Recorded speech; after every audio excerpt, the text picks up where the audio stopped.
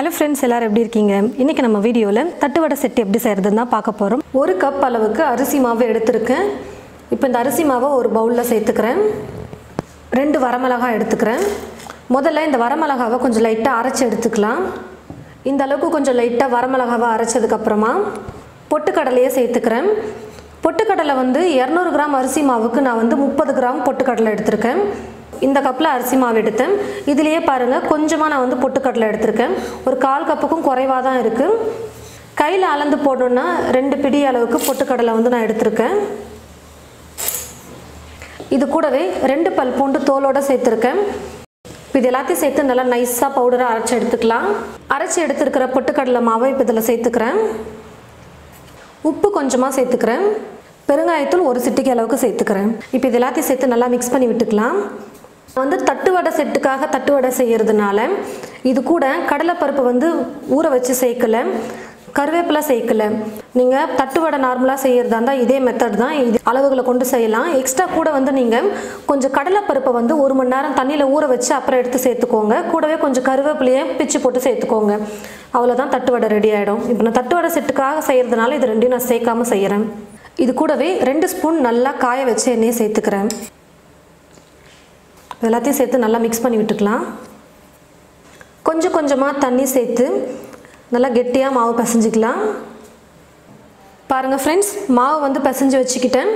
நம்ம மாவை கையில் இப்படி தொடும்பொழுது லைட்டாக ப்ரெஸ் பண்ணோம்னாலே மாவு வந்து நல்லா உள்ளே போகணும். அதான் கரெக்டான பதத்தில் இருக்குன்னு அர்த்தம். ரொம்ப கல் மாதிரி பிசைஞ்சு வச்சுக்கிட்டோம்னா நம்ம தட்டுவடையை தட்டும்போது விரிசல் விட்டுட்டே இருக்கும். ரொம்ப இலக்கமாக தட்டிட்டாலும் ரவுண்டாக நம்ம தட்டி எண்ணெயில் போட முடியாது. எண்ணெய் வந்து ரொம்ப அதிகமாக குடிச்சிடும். அதனால் பாருங்கள் கையை வச்சு இப்படி ப்ரெஸ் பண்ணால் விரல் வந்து லைட்டாக உள்ளே போகணும். அதுதான் கரெக்டான பதத்தில் இருக்குன்னு அர்த்தம். தட்டு வடை தட்டுறதுக்கு இந்த மாதிரி ஒரு கவர் எடுத்துக்கோங்க. எண்ணெய் கவர் இல்லை பால் கவர் கூட எடுத்துக்கோங்க. தட்டு வடையை தட்டி போடுறதுக்கு ஒரு துணி எடுத்துக்கோங்க. ஒரு வெள்ளை துணி எடுத்துக்கிட்டு அதை தண்ணியில் நினச்சி நல்லா ஈரம் இல்லாமல் நல்லா பிழிஞ்சு எடுத்துக்கோங்க. எல்லா தட்டு வடையும் தட்டி இந்த துணி மேலே போட்டோம்னா எண்ணெயில் எடுத்து போகிறதுக்கு ரொம்ப ஈஸியாக இருக்கும். முதல்ல இந்த கவரில் எண்ணெய் கொஞ்சம் தடவிக்கோங்க. மாவு வந்து சின்ன சின்னதாக எடுத்து நல்லா உருண்டை பண்ணி இது மேலே வச்சுக்கலாம். இப்போ நம்ம இதுக்கு மேலே ஒரு கவர் போட்டு நம்ம ப்ரெஸ் பண்ணணும். இதுக்கும் நம்ம எண்ணெய் தடவணும். இப்போ இதுக்கு மேலே இந்த பேப்பர் வச்சுட்டு இந்த கவர் வச்சுட்டு நம்ம இது போல் ஒரு கிண்ணம் எடுத்து நம்ம ப்ரெஸ் பண்ணிக்கலாம். கையில் கூட தட்டிக்கலாம் ஆனால் ஷேப் வந்து கரெக்டாக வராது. அதனால் இந்த இது போல் ஒரு கிண்ணம் வச்சு நல்லா ப்ரெஸ் பண்ணிக்கிறேன். தட்டுவடை செட்டுக்கு வந்து பார்த்தீங்கன்னா தட்டுவடை இந்த மாதிரி சின்ன சின்னதாக இருக்கும். கடையில் இந்த மாதிரி சின்ன சின்னதாக விற்பாங்க. கடை இப்போ இல்லாத சமயத்தில் நான் வீட்டில் எப்படி செய்யணும் தான் நான் உங்களுக்கு காட்டிகிட்டு இருக்கேன். நீங்கள் கடையில் வாங்கிக்கிறதா இருந்தாலும் உங்களுக்கு ரொம்ப ஈஸி தான். வீட்டில் செய்கிறதா இருந்தால் இந்த மாதிரி ஏதாவது வாட்டர் பாட்டில் மூடி எடுத்து இந்த மாதிரி சின்ன சின்னதாக கட் பண்ணி எடுத்துக்கோங்க. அப்பப்போ கவருக்கு வந்து எண்ணெய் தடவிட்டு செய்யுங்க. அப்போ தான் ஒட்டாமல் வரும்.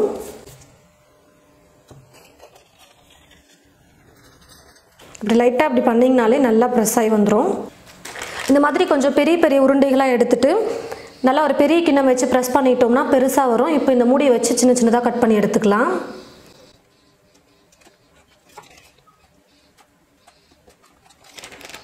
பாருங்கள் ரொம்ப ஈஸியாக எடுத்துட்டோம். இது போலயே நீங்கள் செஞ்சுக்கலாம். பாருங்கள் ஃப்ரெண்ட்ஸ் தட்டு வடையை வந்து நான் இந்த மாதிரி துணியில் தட்டி எடுத்து வச்சுக்கிட்டேன். இப்போ எண்ணெயில் போட்டு பொறிச்சிக்கலாம் கடாயில் எண்ணெய் ஊற்றி வச்சுட்டேன். எண்ணெய் வந்து நல்லா காஞ்சிடுச்சு. இப்போ எண்ணெய் நல்லா காஞ்சதுக்கப்புறமா தட்டு வடையை போட்டுடலாம் எண்ணெயில். தட்டு வடை வந்து பூரி மாதிரி எழும்பாமல் இருக்கிறதுக்கு இந்த மாதிரி ஃபோக்ஸ் ஸ்பூனை வச்சு நம்ம இப்படி சும்மா லைட்டாக அப்படியே ஓட்டை போட்டுட்டோம்னா போதும் எழும்பாமல் வரும். தட்டி வச்சுருக்கிற மாவை போட்டுக்கலாம் எண்ணெயில்.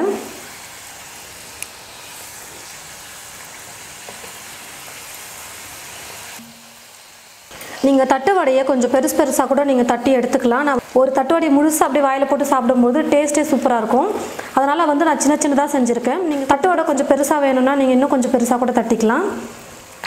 நல்லா வெந்துருச்சு இப்போ நான் எடுத்துக்கிறேன்.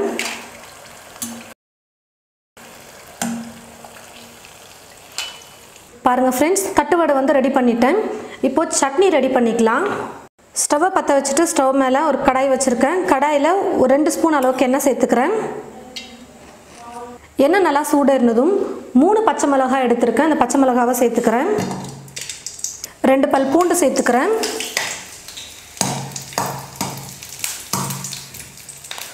ஒரு கைப்பிடி அளவுக்கு புதினா சேர்த்துக்கிறேன். ஒரு கைப்பிடி கொத்தமல்லி. புதினா கொத்தமல்லியை சேர்த்து ஸ்டவ்வை மீடியம் ஃப்ளேமில் வச்சுட்டு ஒரு ஒன்றுலேருந்து ரெண்டு நிமிஷம் வந்து நல்லா வதக்கிக்கலாம். மல்லி பச்சை பாருங்கள் ஃப்ரெண்ட்ஸ் எல்லாத்தையும் சேர்த்து நல்லா வதக்கிட்டேன். இப்போ இதை ஒரு பிளேட்டில் மாற்றிக்கிறேன் வதக்கி வச்சுருக்கிற புதினா கொத்தமல்லி வந்து நல்லா சூடு ஆறிடுச்சு. இப்போ நான் மிக்ஸி ஜாரில் சேர்த்து நல்லா பேஸ்ட்டாக அரைச்சி எடுத்துக்கிறேன்.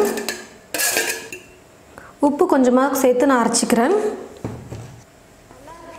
பாருங்கள் ஃப்ரெண்ட்ஸ் நல்லா நைஸாக நான் அரைச்சி எடுத்துக்கிட்டேன். ஒரு ரெண்டு மூணு ஸ்பூன் தண்ணி சேர்த்து தான் அரைச்சேன். அப்போ தான் நல்லா நைஸாக வந்தது. புதினா கொத்தமல்லி வதக்கின அதே கடாயை ஸ்டவ் மேலே வச்சுட்டு ரெண்டு ஸ்பூன் எண்ணெய் சேர்த்துக்கிறேன். எண்ணெய் நல்லா காஞ்சதும் ரெண்டு வரமிளகா சேர்த்துக்கிறேன். ரெண்டு பல் பூண்டு. சின்னதாக ஒரு வெங்காயம் எடுத்து கட் பண்ணி வச்சுருக்கேன் அதை சேர்த்துக்கிறேன். வெங்காயம் ஓரளவுக்கு நல்லா வதங்கிடுச்சு. இப்போது தக்காளி சேர்த்துக்கிறேன். நல்லா பெருசாக இருக்கிற தக்காளி பழமாக ரெண்டு எடுத்திருக்கேன். மீடியம் சைஸில் இருந்ததுன்னா மூணு எடுத்துக்கோங்க. புளி ஒரு சின்ன துண்டு எடுத்திருக்கேன். அதை சேர்த்துக்கிறேன். தக்காளி நல்லா வதங்கணும். அதனால் ரெண்டுலேருந்து மூணு நிமிஷத்துக்கு நல்லா குக் பண்ணிக்கிறேன். பாருங்கள் ஃப்ரெண்ட்ஸ் வெங்காயம் தக்காளி வந்து நல்லா வதங்கி வந்துருச்சு. தக்காளியோட பச்சை மணம் வந்து நல்லா போனால் தான் சட்னி நல்லா டேஸ்ட்டாக இருக்கும். அதனால தான் நல்லா வதக்கணும். இப்போ நான் வந்து ஸ்டவ் ஆஃப் பண்ணிவிட்டு இதை ஒரு பிளேட்டில் மாற்றிக்கிறேன் வதக்கி வச்சுருக்கிற தக்காளியை வந்து இப்போ சேர்த்துக்கலாம். உப்பு தேவையான அளவுக்கு சேர்த்துக்கிறேன். வெல்லம் வந்து ஒரு சின்ன துண்டு எடுத்துருக்கேன் அதை சேர்த்துக்கிறேன்.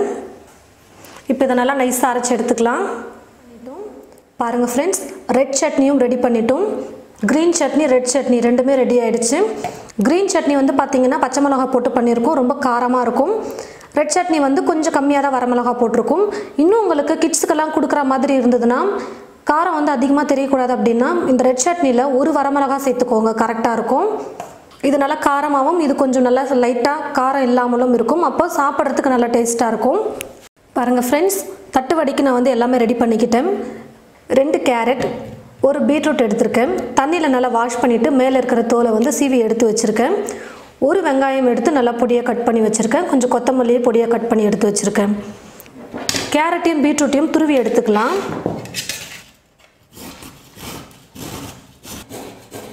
பீட்ரூட்டையும் கேரட்டையும் சரி சமமாக நான் வந்து கட் பண்ணி எடுத்திருக்கேன்.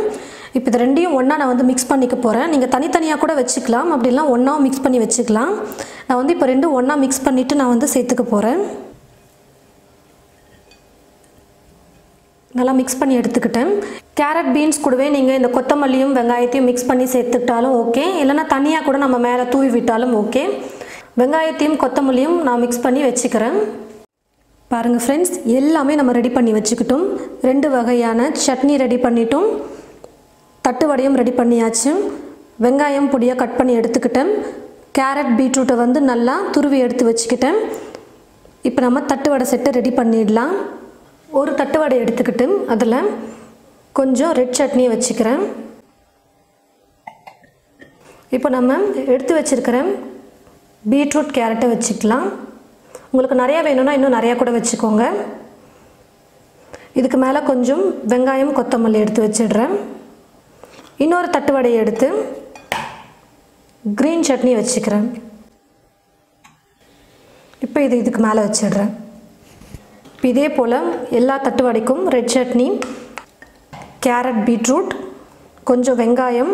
நீங்கள் கேரட் பீட்ரூட் கூடவே நீங்கள் வெங்காயம் கொத்தமல்லி கூட மிக்ஸ் பண்ணிக்கலாம். அதுக்கு மேலே கொஞ்சம் க்ரீன் சட்னி வச்சுக்கிறேன்.